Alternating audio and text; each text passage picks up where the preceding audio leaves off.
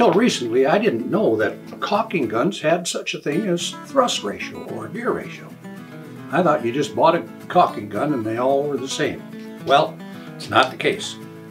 Uh, for example, this gun has a 3 to 1 thrust ratio in and this one has a 12 to 1 thrust ratio, 18 to 1, 25 to 1. Well, what does all of that mean?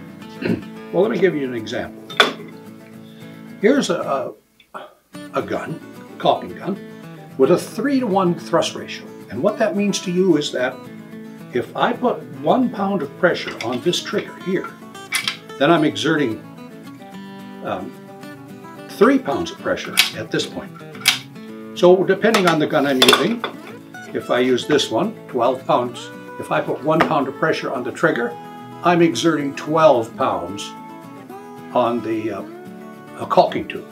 And this is an 18 to 1 thrust ratio. So when I pull the trigger, um, if I put one pound of pressure on the trigger, I've got 18 pounds here. A lot of pressure. Well, the reason we have to do that is because caulkings, the caulking and the adhesives that come in tubes uh, are different uh, viscosities. Some are very runny and some are extremely thick. This is a 25 to 1 ratio. One pound here, 25 pounds out in the plunger on the back of your cartridge. So um, I've, I've selected Franklin Tight Grab. Now they are recommending a 25 to 1 uh, thrust ratio, but you can get by with an 18 to 1. They also say that. And so this is an 18 to 1 gun. This is their uh, 25 to, uh, Franklin Titebond's 25 to, to 1 caulking gun.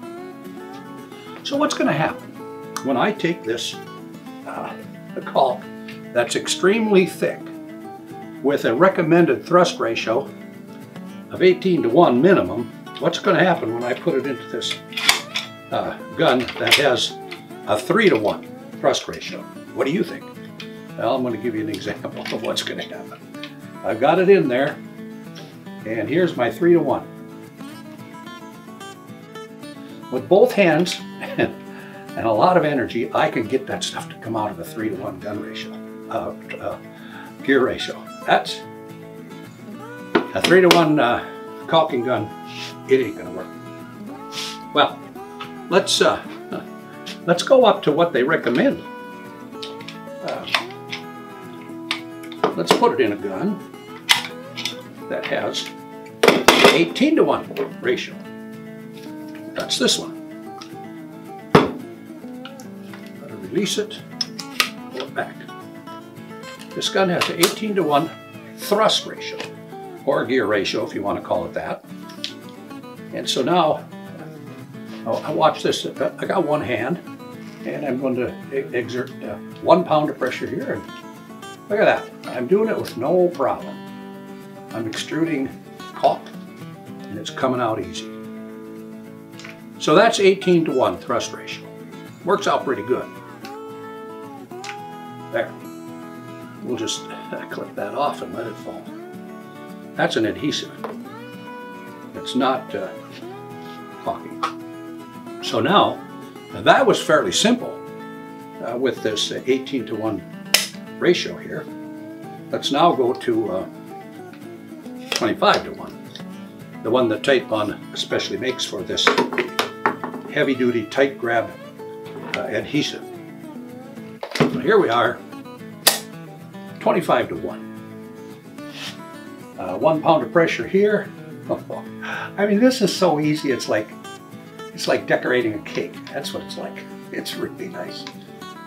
So that's what thrust ratio is all about. When you buy a gun, you want to make sure that you select a gun that has a thrust, thrust ratio that's high enough to handle whatever caulking uh, you're using. And uh, stuff like this, uh, silicone and painter's caulk, you can get by with 3 to 1. But some of these other heavier things, if you're working on your cement on your driveway, putting caulk in, uh, those are areas where a high thrust ratio is necessary. Well, I hope you enjoyed this short clip.